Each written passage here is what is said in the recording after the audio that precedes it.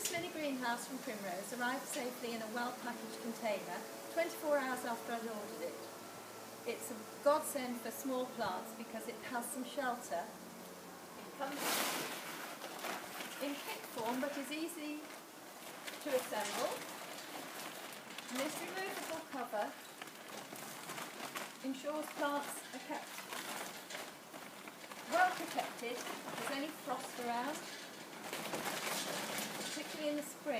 A couple of zips either side which go right to the bottom. And then, if you just want the door out of the way, you can roll it up and tie it safely out of the way. When you need the cover on all the time, there are ties for each corner to keep it secure and stop the wind blowing it away. But just for the moment, we'll take that off. I can show you the shelving. There are five and they do split and so you can take off one which will give you the chance to have bigger plants to grow up or you can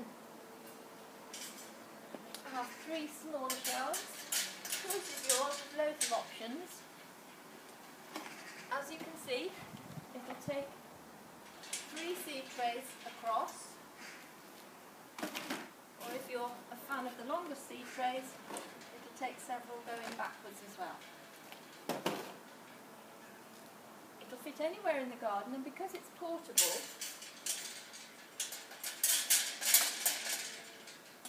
you can put it anywhere to keep all the plants safe, them away from the slugs and the snails.